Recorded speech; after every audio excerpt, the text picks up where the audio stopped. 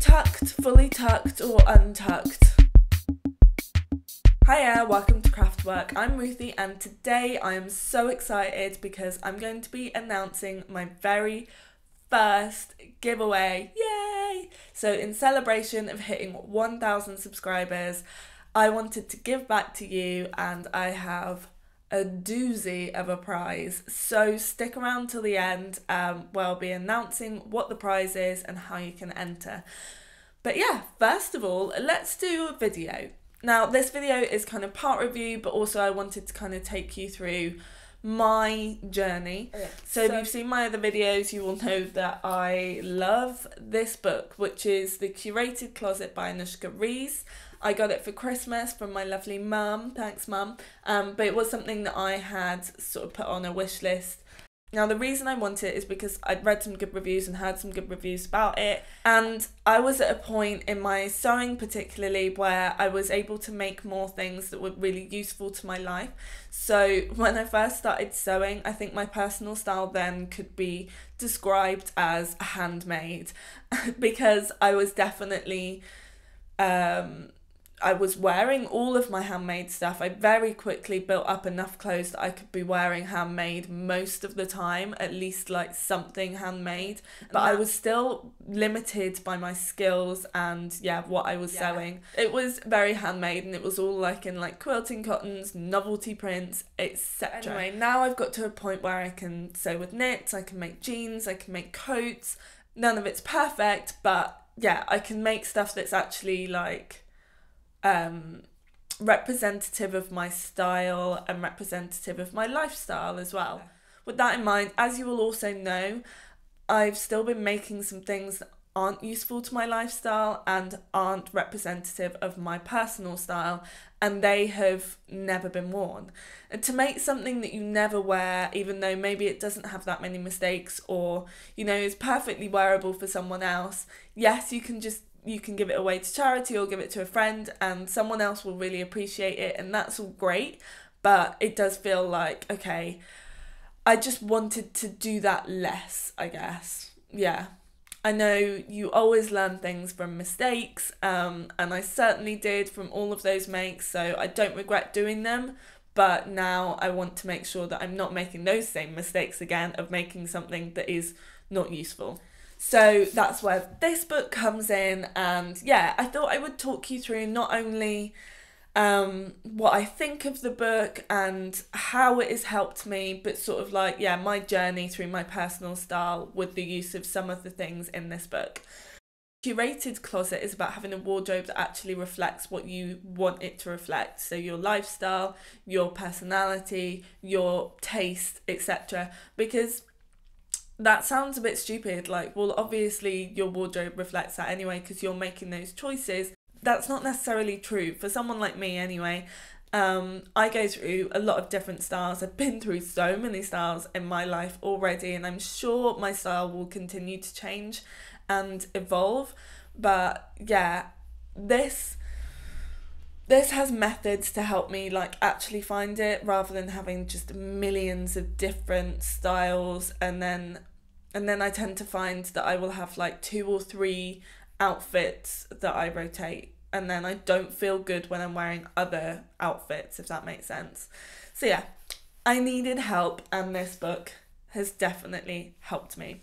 So yeah, I'll just go through some some different tasks that I did and what results I got from them. Obviously, I don't want to give you like everything in the book, A because that would be far too long and I wouldn't do it justice, but also B because that would probably be plagiarism and I do recommend buying the book. The first bit in the introduction, um, it encourages you to just document what you wear. So it says for two weeks. I did it for a little bit longer just because when I was doing it, it was like January and I wanted to make sure that it was really representative of my life because there are some obviously sometimes in our life when we don't socialize much january being one of those for many people including myself and a lot of my friends. But the next bit um is doing is thinking about your personal style and your personal preferences when you're looking at other people's outfits if that makes sense. So i started with pinterest. Anuschka doesn't necessarily recommend Pinterest. I mean, she says it's a good place to start, but then you're going to need like a folder or some way that you can um, move the images around because that is the issue with Pinterest. I think it's a shame that you can't move the images on the board, and if you can, and I just haven't worked it out, uh, let me know. And then it gets you to sort of like write a style profile. So I'll show you. I've got, I've got my little tabs in my book. Uh, so yeah, it just gets you to write down things you like, um, which you can see here, and it has like overall vibe, individual items, colors, silhouettes, materials, styling, and you just like write. You just try and find patterns in what you have saved in the images that you've saved. You could, and as I say, if you put them somewhere where you can move the images around, then obviously you can group them into little categories, and you just try and find sort of like patterns I will insert some images here for you to see, but I won't go through through it individually. But some of the main things that surprised me was I was definitely leaning more towards wide leg trousers rather than like a peg leg or a um, skinny jean, which was actually what I predominantly had in my wardrobe. And then, yeah, so that's one of the things that led me to making the Lander pants last week and I love them and I really love the shape and it's made me realize that that is actually my preferred shape to wear. I think it suits me more um, and I feel comfortable in it.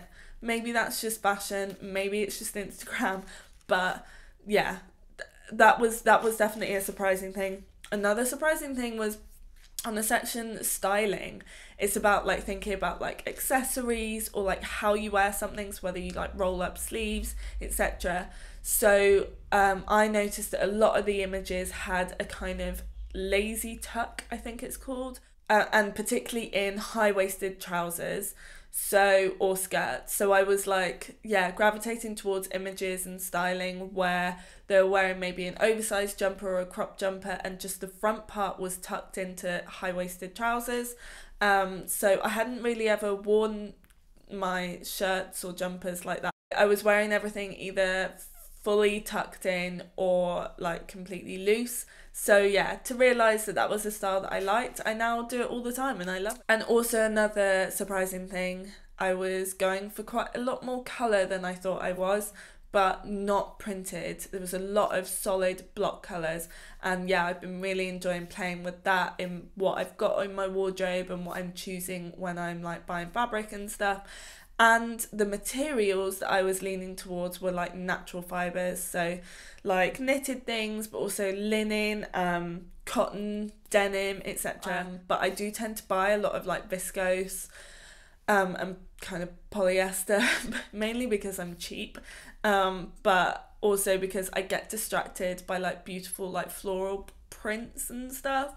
Um, but yeah, real doing this style profile and realizing that's not actually what I liked um, was was quite eye opening because that was kind of I kind of knew that I wasn't as into floral prints as my wardrobe would suggest, but um, yeah, it was good to like write that down and confirm that as well. I mean, okay, it might be a seasonal thing, and maybe as we move further into spring and summer, maybe I will like yeah go for those again and go for more pastel colors again, but at the moment definitely I'm gravitating towards block colours, bright colours, um, and solid material and definitely natural fibres. So that was a good thing to realise. The next section is about building your dream wardrobe. So tasks included selecting a colour palette. This can evolve and change and she's very clear about that. But yeah, it's nice to sort of know where your palette kind of sits. Um, mine is, yeah, mine is a lot darker than I thought it was. And then also it, do, it has this like closet detox. Uh, this was this is one of the best things as well because it has this this flow chart. It has quite a lot of flow charts in general, but yeah, this flow chart like really helps when you're clearing out a wardrobe. It yeah asks you various questions that you forget to ask yourself, um, and it's very clear. Then the next bit that I really enjoyed uh, was then doing a pie chart that kind of asks you to look at different parts of your lifestyle and kind of categorize them into different like outfit styles that you might need. The idea is that your wardrobe pie chart would reflect your lifestyle pie chart. Does that make sense?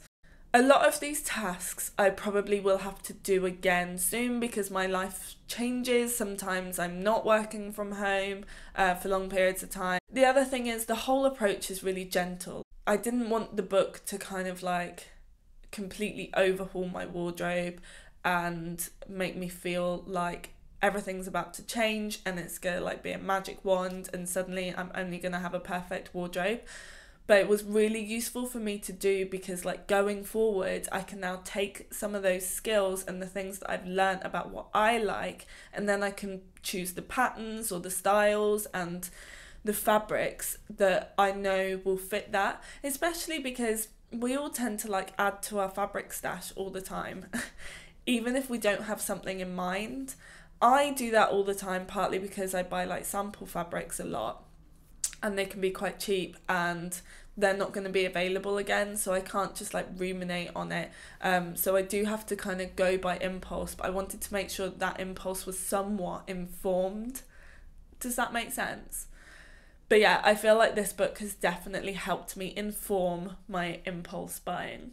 A little bit at least. So yeah, I really, really love this book and I highly recommend it if you are sort of having similar thoughts about like what you're making or what you are buying and thinking that you need a little bit of help. I think my style will continue to change. I don't think it's about just like finding a personal style that you stick to forever. It's about like having methods and um, approaches to styling that suits you, your personality, and your lifestyle so that you always have um, at least the majority of your wardrobe really reflecting what you actually need and what you actually want to wear. And if you hadn't already guessed, I have one copy of Curated Closet to give away. Not this one, obviously, this is mine but your very own copy. Um, the lovely Anuschka Rees is donating a copy to this giveaway, so thank you so much, Anushka. Um, I yeah, I absolutely love this book, and I'm so pleased to do a giveaway that really reflects my channel and things that I've been talking about. So yeah, that's really exciting, and she's going to be sending it to me, and then I will send it anywhere in the world. You can enter by commenting down below um, and that will give you one entry. There's also a post on my Instagram that you can comment on for another entry, and then for a final third entry, you can comment on the post on my Facebook. I will link those posts down below as well, so do go and check those out. Yeah, basically, you can have up to three entries, but you don't have to. You can just do one entry just by commenting down below, or yeah, picking one of the other platforms. But yeah, up to three entries are possible on this. So if you want to win this book, that's all you have to do to enter, and then I will be picking at random. So you have until next Sunday, the 25th at midday to enter. That's GMT, midday GMT. Yeah. 25th of March 2018 is the deadline. Thanks so much for watching. I hope you found this useful. Hope you can see how it's related to sewing. Um, certainly how it's related to my sewing and my choices. I thought it would be good to kind of give a bit of a backstory to that. Um, and yeah, I will be back next week with another video. If you haven't already subscribed, please do so and pop on over to Instagram and Facebook where you can follow me there. Have a great week and I will see you again next Sunday. Thanks for watching. Bye.